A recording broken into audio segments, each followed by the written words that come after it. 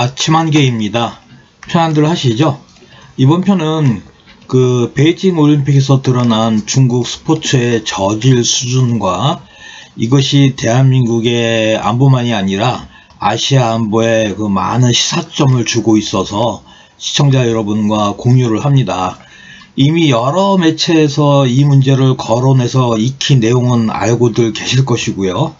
본인은 그냥 이제 본인의 입장에서 대한민국의 안보 문제와 이 사건이 어떤 관계가 있는지를 이제 한번 설명을 드리고자 합니다. 우선 뭐 그냥 사안에 발생한 문제점은 그 지난 2월 5일이었죠. 다시 보기만 해도 이제 막 이 스팀이 오르고 그 이 짜증이 나는 그런 그 경기들이었는데 아 뭐 그 터치도 안 한 상태에서 그 계주에서 금메달을 이제 따지를 않나 그 유명한 반치광 팡커신이라는 애의 그 이상한 행동하며 아 그 여자의 그이 이 나중에 동영상을 하나 보시겠지만요. 그 이거는 아주 사악한 애입니다. 이 팡커신이라는 애는 인성 자체가 굉장히 사악 악랄한 여자입니다. 그 다음에 그 뭐 황대현 어떤 실격 사건 뭐 기타 등등. 아 시청자 여러분께서도 뭐 이 영상을 보시면 아, 뭐 어떤 즐거움보다 이 스트레, 스트레스를 많이 받으실 건데요.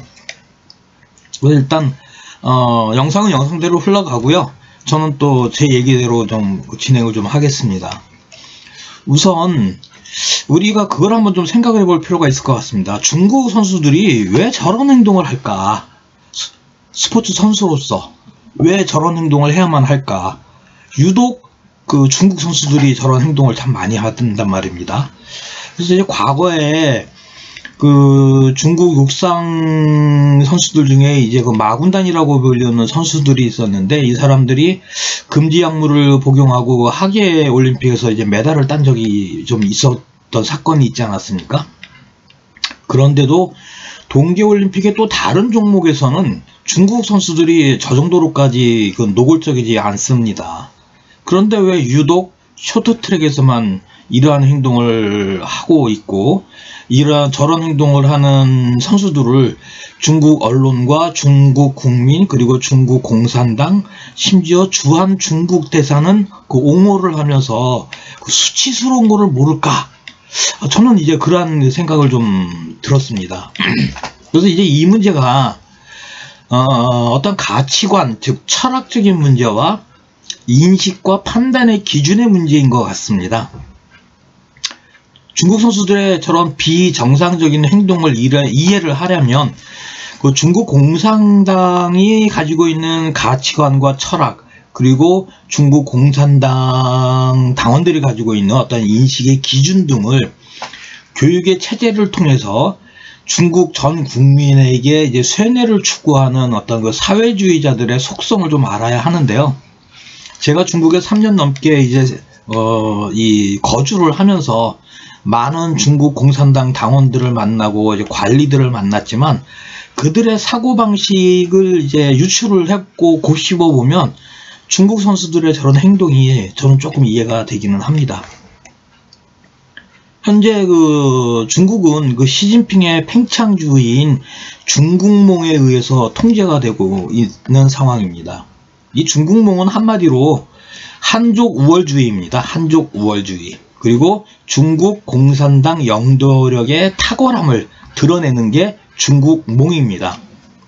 그래서 중국 내에 있는 모든 매체들은 이 한족의 우월함과 중국 공산당의 영도력의 탁월함을 이제 계속 강조를 하고 있고 그 강조를 하고 있는 매체들은 전부 다 중국 공산당 선존 선동부가 소유하고 장악을 하고 있습니다. 그래서 이번 베이징 올림픽은 1936년도 히틀러가 독일 올림픽을 이제 주최를 하면서 제3제국의 어떤 위대성을 그 이용을 강조하는 선전하는 그 선전 도구로 이용을 했듯이 이번 그 베이징 동계 올림픽도 중국 시진핑이가 한족의 우월성을 전 세계 선전하기 위해서 개최한 겁니다.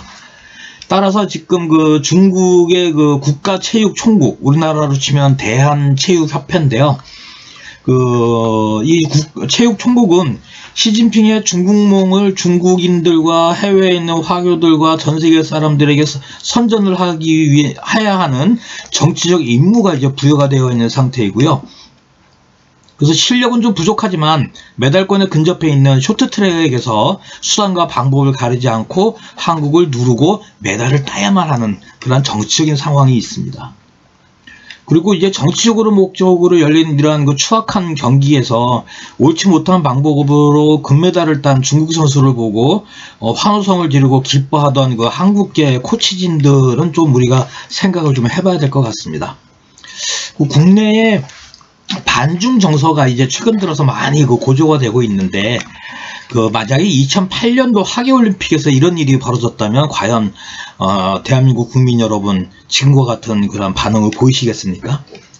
글쎄요. 지난 2010년하고 2012년에 제가 제 블로그를 통해서 중국 경제의 환상과 진실, 그다음에 중국의 팽창주의와 우리나라의 대응 뭐 이런 종류의 그 논평을 제가 어, 한 3년에 걸쳐서 집중적으로 이제 발표를 한 적이 있었는데 그때 제 이 국내 좌파들하고 그 다음에 그 당시 이제 언론만 보고 뉴스만 보면서 세상을 한다고 하는 그 이상한 사람들이 제 블로그에 와가지고 저를 얼마나 그 이 괴롭히고 이 비난을 하고 인신공격을 했는지 모릅니다. 당시만 해도 대한민국 국민 대부분은 중국에 대해서 긍정적이었기 때문입니다. 그런데 재밌는 거는 1992년 중국과 수교한 후에 2016년 문재인이 정권을 잡기 이전까지 한중 관계는 좋았습니다.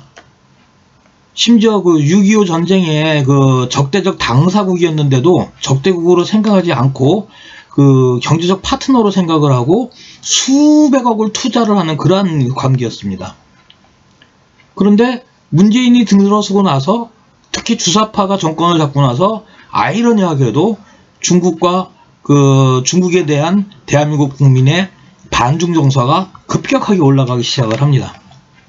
사드 문제로 그 롯데그룹에 대한 제재, 무슨 뭐 한한령, 뭐별 희한한 짓거리를 다 하죠 중국 공산당이. 그럼에도 불구하고 현 정권 문재인이가 아무 대응도 못합니다.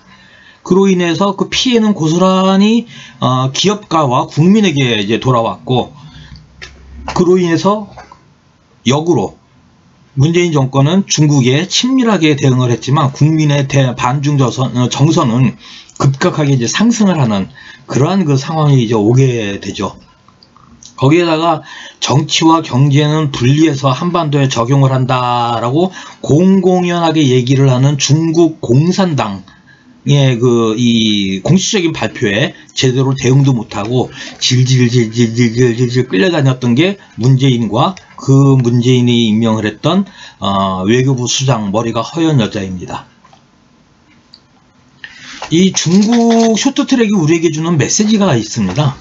공정해야 할 스포츠와 그 판정에서 발생한 이 사건은 중국 공산당이 전 세계에 보내는 아주 명백한 메시지를 담고 있습니다.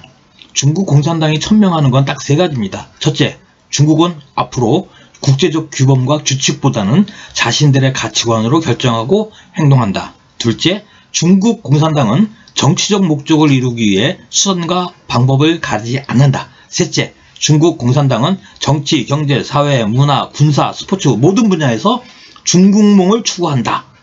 라는 겁니다. 개막식에 우리 한국인, 어, 우리 국민들이 분통을 터뜨리는 한복이 등장한 이유가 바로 이겁니다. 중국의 행동을 분석을 해보면 아주 야비합니다.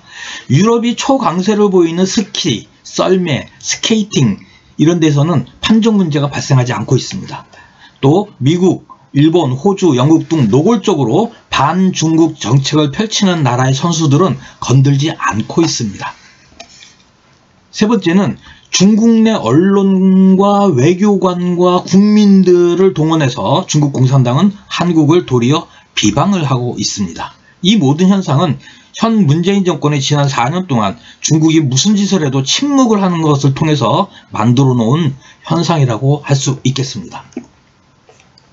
이 문제가 군사적 분야와 안보적 시사점이 뭐냐, 어, 가지고 있는 안보적 시사점이 뭐냐면 이거는 단순히 스포츠에서 벌어진 해프닝이 아닙니다.